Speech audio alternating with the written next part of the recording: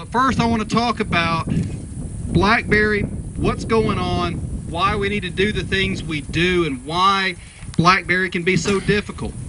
All right, the first thing I want to mention are these plots behind me were sprayed in November of 2009. Okay, three years ago essentially. So that was a long time ago. I mentioned those things for a couple of reasons. Number one, blackberry is a perennial. Okay, so it it grows fairly slow, it dies fairly slow. So don't get too concerned or too animated about the fact that you spray it and then you think you've got a control. All right, because I'll have people call me and say I sprayed it, I got 100% control. Well, how long how long ago did you spray? A month ago. That's way too early to determine if you've got any success, okay? It's going to take these plants about a year to decide sometimes if they're going to grow back because what you see out here is a perennial plant. That means there is a very large rootstock underneath the ground and there are buds all over that rootstock. And if you don't kill every one of those buds, it is going to sprout back and make a new plant. Okay? So we've got to get enough herbicide in the plant and move down to kill all of those buds. And if you get just a little bit of herbicide in it, it may delay how long that new plant comes out, but it will recover and come back. So you need to wait about a year before you know if you've had true success or not. The second thing that's important, as I said, these were sprayed in November. All right? Again, being that this is a perennial, this plant thinks a little different than other plants. All right? What this thing does is in the spring, it comes out of winter and it starts mobilizing and using all of that energy that it has stored in that big root system to push up and grow a new plant. Okay? So, if I make my herbicide application in the spring, all the energy is moving from the bottom of the plant to the top, where's my herbicide going to go? Going to stay in the top of the plant. That's exactly right and that's not where I need it. Top kill is not what I'm looking for. I've got to control that big root stock. But after a little while, after about midsummer, this plant switches over. After it flowers and drops fruit, that's, that's basically its goal for the year, is to flower and make fruit. After that, it then takes the rest of the season and starts collecting all of this sunlight energy and it's pushing it back underground, refilling that root stock and growing a larger root system for next year. So, if I make my application in late summer through fall, where's my herbicide going to go?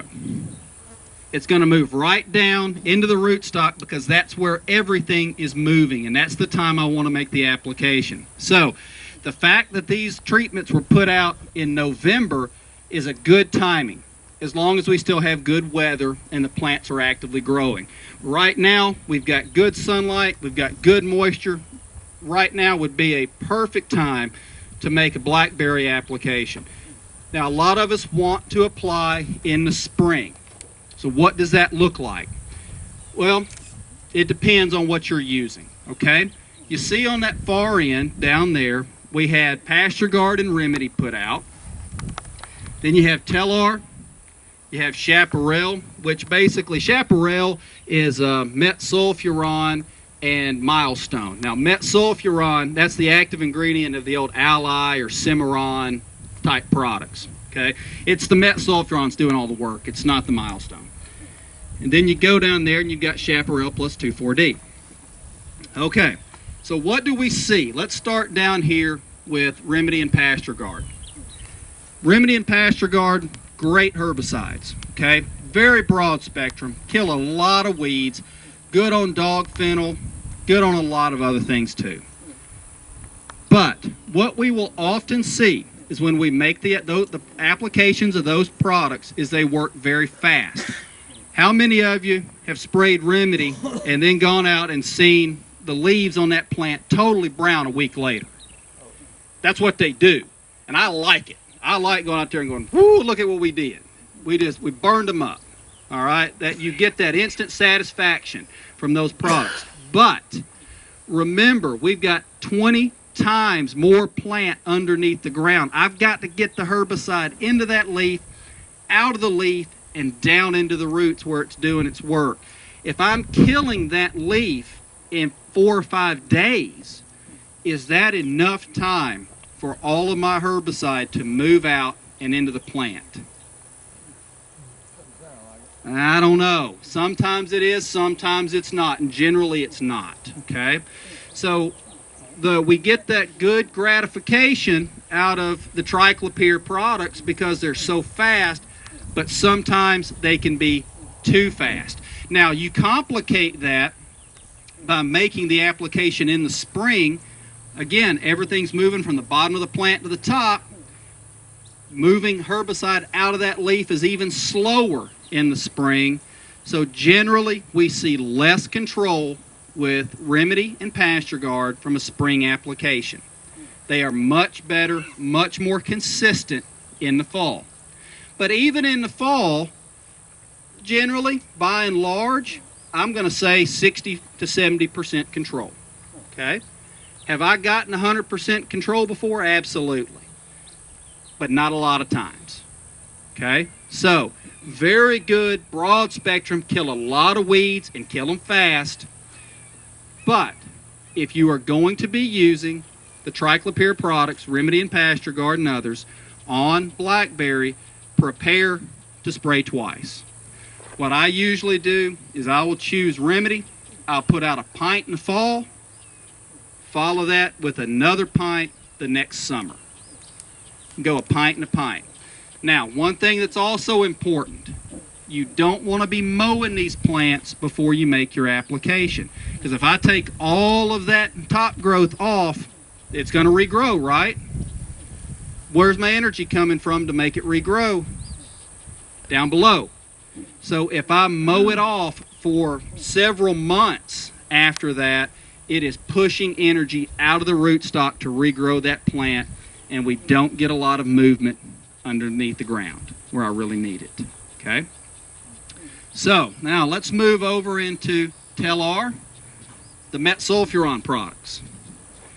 Okay, Telar, good herbicide, fairly good on blackberry. You can see not as good as Chaparral here, as metsulfuron, but pretty good.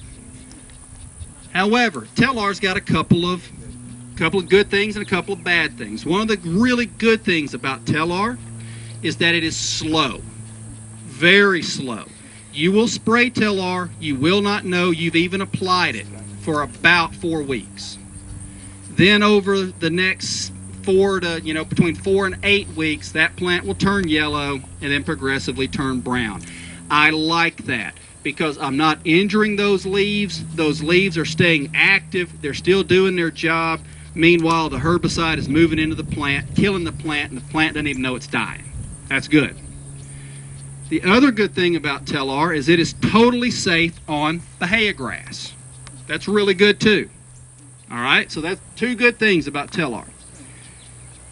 Now, with every good thing comes a bad thing. Telar is going at this rate, you got to go to top end rate. You need to go about an ounce per acre to get the activity that you need. And to get to a rate that high, it's going to cost about $20. Is that still right, Jerry? About in that range? The other thing is Telar is not going to control a bunch of other weeds. Okay, if you've got dog fennel, if you've got goldenrod and a bunch of other things, soda apple, you're going to miss them. Okay, it is very specific. It controls blackberry, it controls pigweeds or careless weeds, and not a terrible amount of other things. Okay, it's a much more narrow herbicide, but very safe on your grass, very good on blackberry. Now let's talk about metsulfuron. This is the pick of the litter here. This is really, really good. What's our biggest drawback on metsulfuron? Cimarron. Bahia grass sensitivity. Okay? Now, how many of you have ever flat killed Bahia grass, mature Bahia grass with metsulfuron? Raise your hand. Me either. All right? What you will often see if you don't time it exactly right, there's a fairly narrow window of timing. If you apply it late in the year, what you're going to see is that plant is going to turn yellow. The Bahia grass will turn yellow. It'll start turning brown, and then it'll start coming back. And generally, it'll all come back. But you are going to yellow it out, and you're going to lose the grazing. You can minimize that by what we see on the very end. If you add in a pint to a quart of 2,4-D, 2,4-D really reduces the activity of metsulfuron on on Bahia grass. Doesn't take it away. It's still going to turn yellow and brown, but it just it comes back much quicker. So we can use a straight metsulfuron product, a Cimarron product. They're very cheap. They're highly effective. The number of misses I have had with blackberry with metsulfuron are almost zero. It just never misses blackberry, and it is very cheap, highly effective. But we have the Bahia grass sensitivity issues that we have to deal with in one way or another. Okay? So, I wish I had a silver bullet for you, but we've got three options. We can use a triclopyr product like Remedy or Pasture Guard, but you need to prepare to apply twice, and you have to start in the fall. We can go to a, a Telar material. Very good, very effective. High price, though. Total Bahia grass safety, but a high price. Or we can go a Chaparral Metsulfuron Cimarron type product. A lot cheaper, but we have very effective, highly effective, the most effective, but Bahia sensitivity is the concern. So those are the three things you've got to think about and try to work through when you're developing a blackberry control program. Now, if I'm in an area that is slammed up, solid blackberry, then I would just use metsulfuron because you don't have that much grass anyway. If you're in an area where you've got a mixed in grass stand, well then one of these down here may be a better option.